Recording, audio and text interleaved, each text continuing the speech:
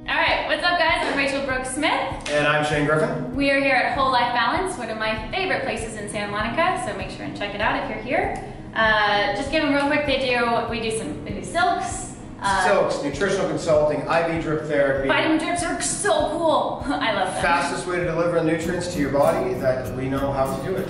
With that in mind, we want to do a really special rapid fire video of the biggest health misconceptions uh, that we can think of as fast as we can, just for you guys. So, number one, we just said it. Uh, you're uniquely yourself, uh, so healthcare should be. Yeah, unique to yourself. You are all different, and you should understand what is going on with you, so you can you can treat yourself as unique as you are.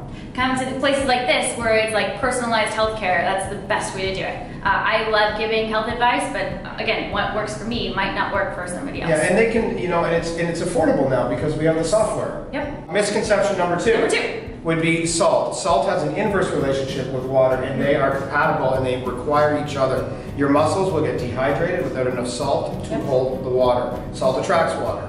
They're um, they're marriage of sorts. Okay. Is there a good and a bad type of salt? This is this is why salt has been given a bad name. Is because processed table salt. It's iodized salt, which means the iodine has come out of it. They've ripped that out of it because it used to be bad, um, or determined to be bad for thyroid issues. However, any salt, and this is a good way to go by it. It can be Celtic sea salt, Himalayan sea salt. If it's got color in it, it hasn't been Processed. processed. Yep. So, So- sea salt is the way to go. Sea salt is good, and you should just look in the aisle. If it's Yep. got pinks and browns and greens, get it. The Number three. misconception of sugars. Yes. Everybody thinks sugar is bad. I have a dear friend of mine who hates sugar, um, but, but but we have had the conversation. No, well, it's it, it, she's doing everything actually right. Getting the sugar in vegetables, there's sugar in fruits, uh, there's sugar in a lot of the foods we eat, but there's a difference between glucose, sucralose, and fructose. Yep. Glucose is the uh, currency of our body.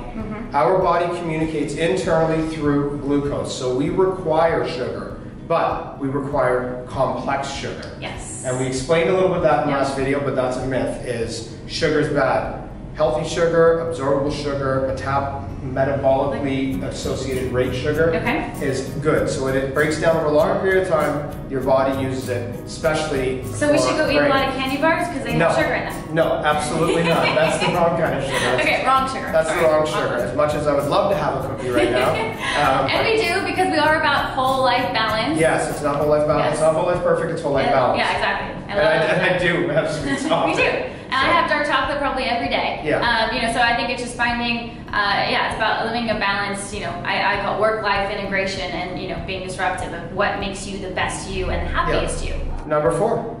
This is one that is going to be hard for some people as well. First of all, chronic dehydration is rampant all over the world. We are we don't drink enough water, but here is the myth that I want to tell people. You can drink too much water. Yes, and I've done that before. Yes. So if you are active and you're working out and you're training, yes, I want you to drink water. Absolutely. I want you to drink water with some salt so that we can Sea keep salt. those sea salt, of course, Yep. together. But when you overdrink water, the job of water is to contribute in cons- constitution of filtering out your liver Yep. and kidneys with your blood. The minerals and nutrients that you may have eaten earlier that day that are going through your body, you're going to help digest them fast with water, and they will be secreted through your liver to kidneys to urine. So you can actually diminish yourself nutrient base by having too much water.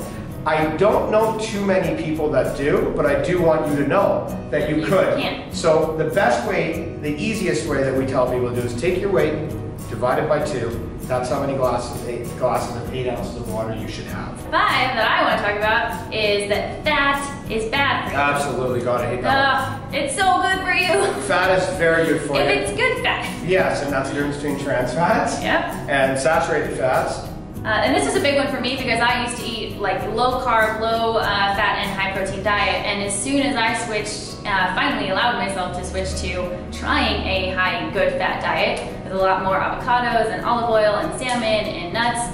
I mean, I literally wouldn't even get olive oil on my salad because I was scared of because it had a lot of fat in it. Um, as soon as I changed that, I automatically felt like so much. Like I used to have crazy brain fog and like problems focusing and energy, and I constantly crave sugar and food all the time. Uh, and and when I added fat, I mean, it, I didn't feel that. And do you want to know why the brain fog went away? Why?